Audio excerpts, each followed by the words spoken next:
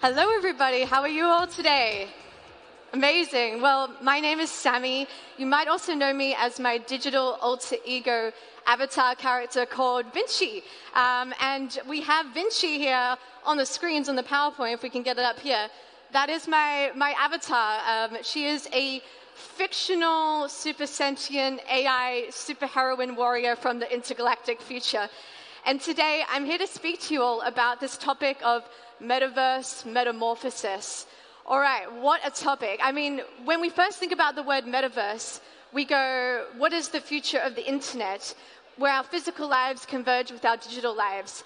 Now, this word metaverse has gone through a complete media hype cycle, but the way I got into it was the future of humanity. It was the potential of where we could go as a human species. And that's why I'm interested in talking about this concept of metamorphosis, because to me it relates to inner transformation leading to outer transformation.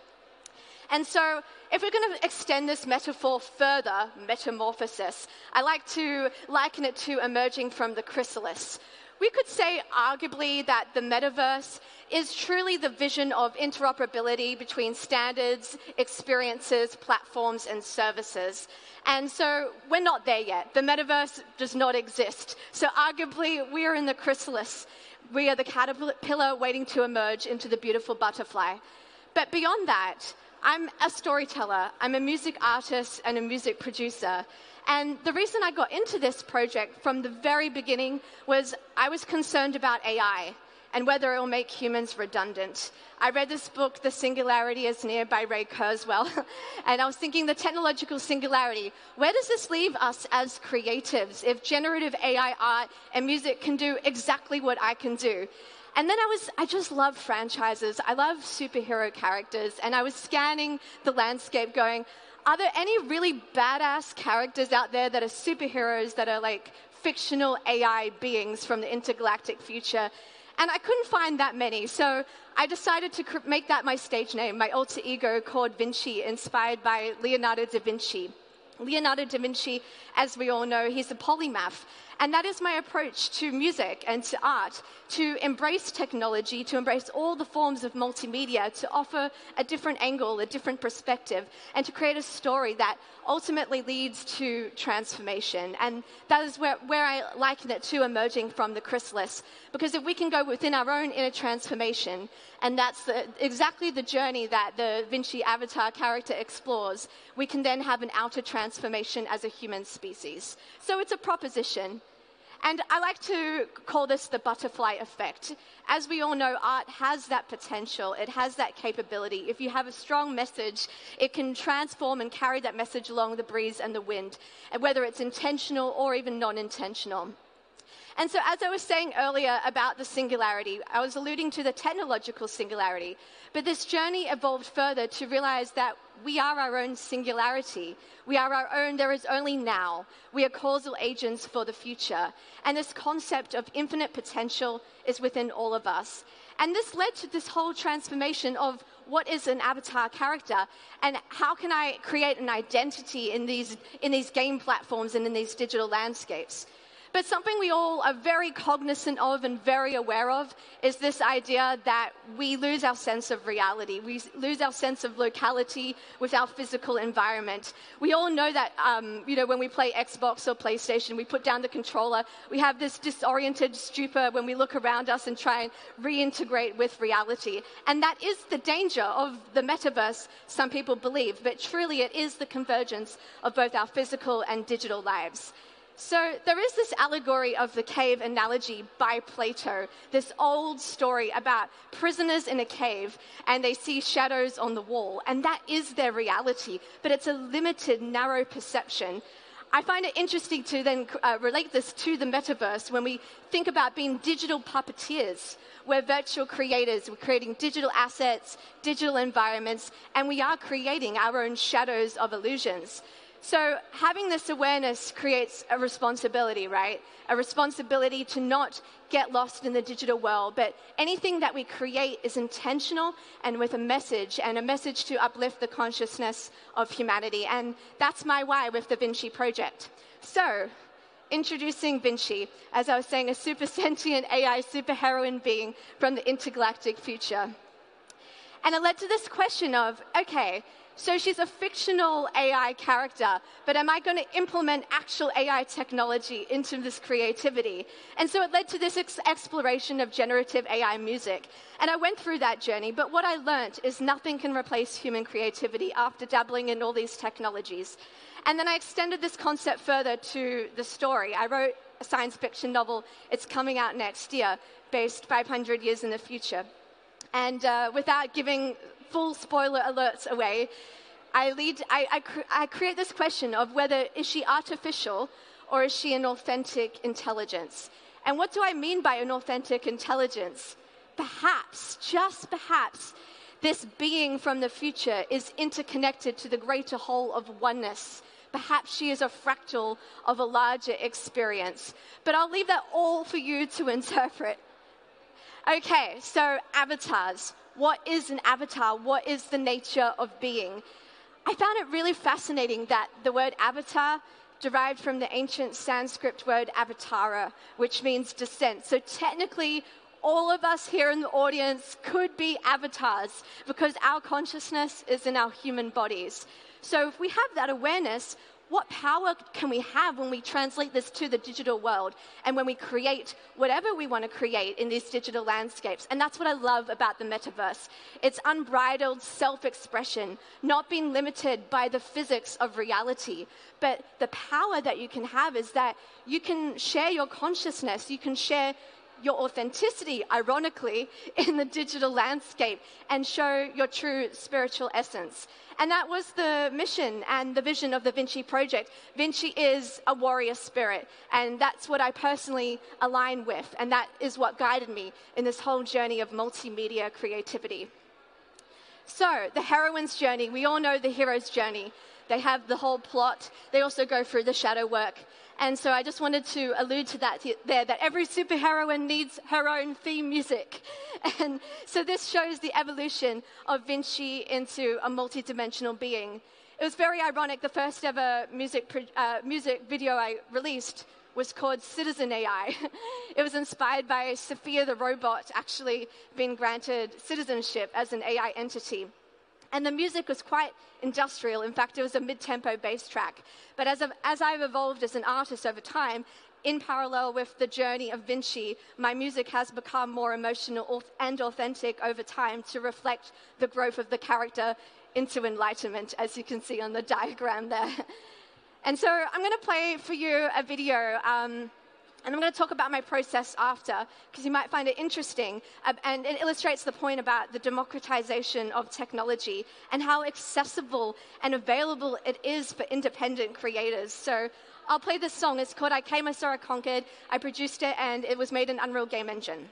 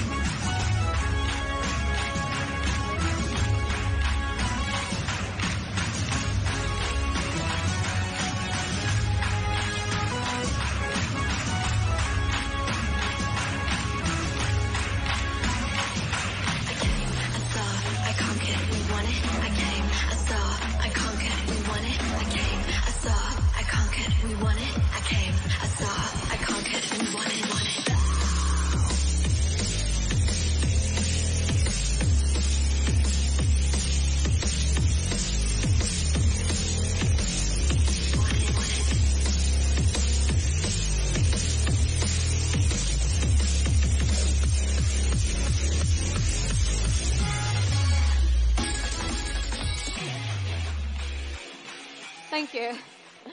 So, thank you so much. Appreciate it. So that was all made in the bedroom. and that's the power. That's the power of being an independent creative. We all have this ability and we all can tell stories with these tools, the, these technologies. I'm sure you have, have we all played Fortnite here? Oh, maybe it's uh, the younger generations, but, but basically Epic Games owns Unreal Engine, so the, the, the, program's free to learn. Even if you're not a game engine programmer, what I love about it is that in the cinematic sequencer, you can tell stories. And then you can build virtual environment experiences and publish them to the web, and I call it YouTube University. So that's the power of storytelling when you converge the gaming industry with the music industry.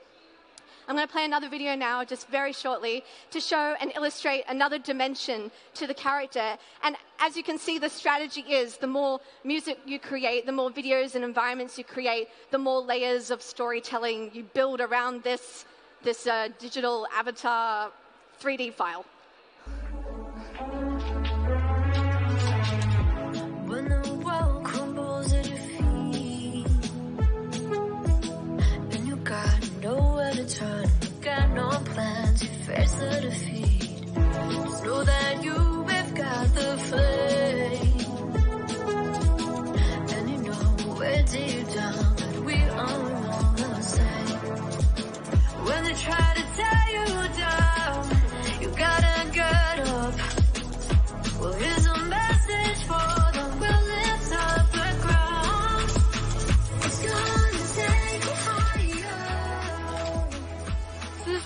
An emotional song here. You can see you've got the, the mirrors, they're representing doors, they're closing on her. But eventually one door opens, and that is symbolic of opportunities in life. All right, I'm going to pivot here and get some water. My goodness, my throat. But um, I explored motion capture to animate my avatar character. And um, basically, it's an iPhone capturing my face data, 52 blend shapes with the ARKit. And I, I created a podcast show called Future Humans, and I wore a mo- motion capture suit, being a Rokoko suit. How do you see the world? Do you see it as a sequence of events that you passively react to? Or do you see it as a creative endeavor for bending reality based on the positive, pure intention of your mindset? So, what's cool about that is all of a sudden you're creating a new dimensionality to the character. Motion capture is accessible. Like now, you don't even need fancy hardware suits. There's a company called Move AI. Literally, cameras can pick up your data. So, it's quite deceiving because obviously I do not look like that, but you're able to tell stories in new dimensions. So, the process this is me in the music studio, as you can see uh, with Unreal Engine there. I have these stage shows, they're multimedia immersive experiences. I have these LED screens behind. And um, my process with my live stage shows is I'm streaming live from Unreal Engine to this program called Disguise Designer, and they have this plugin called a RenderStream. So basically, you can show your avatar live in the engine live in real time. And so I just want to quickly dabble on this concept of uh, storytelling and what is the future franchise. So VNCCII, she's just the Luke Skywalker of a larger space opera universe. And that's what's really exciting about being a creative. You can build worlds and tell stories and create complete universes.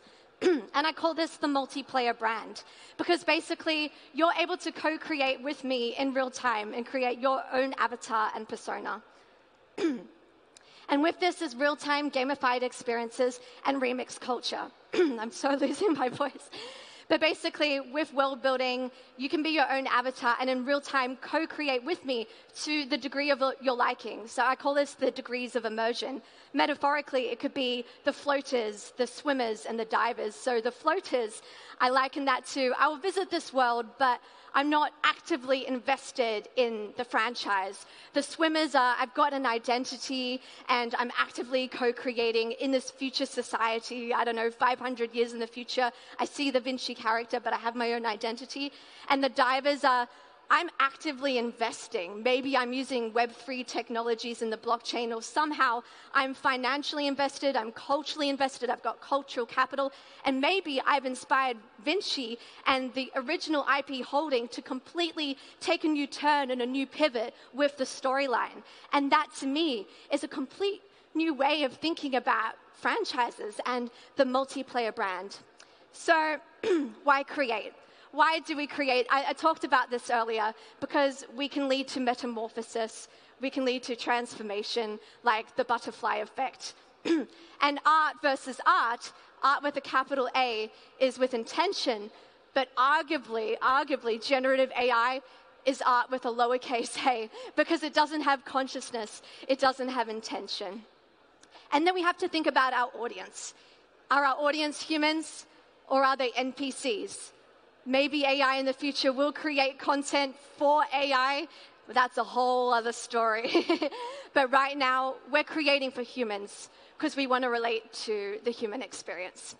And something I'm very personally passionate about is we all know the world is divided, right? There's a lot of fear going around. But the counteractive force to that is love. And that is the why behind why we should create art with a capital A. It can last the test of time, it can transcend thousands of years into the future. And I think about the youth, I think about the future generations. They're, they're dealing with AI as their natural habitats, basically. Um, we'll have AI agents, they'll become subject matter experts. We'll have private personal assistants, PPAs. Our whole paradigm is shifting of what is real, what is not real. Like I said earlier about the cave of illusions. So it's so important to embrace the real, but also if we're going to embrace the not real, the digital landscapes, that we do it with intention and we do it with this cognizance and this realization that we can look after each other, we can empower one another, and use art as a force for good, a force for love, not fear. And in fact, talk about creativity. VNCCII has a tuning fork, a life size tuning fork, as her instrument, not weapon, instrument of love. And I've used that metaphorically in the novel that I've written that you'll see coming out next year. And so, yeah, the youth, the future generations, we're going through a quantum infinity upgrade, I call it. And the best service to humanity uh, is to realize our infinite potential and to be in the service of others. And that is VNCCII. As you can see, she's bowing down with angel wings. So, thank you for listening. I hope this has inspired you to go and create.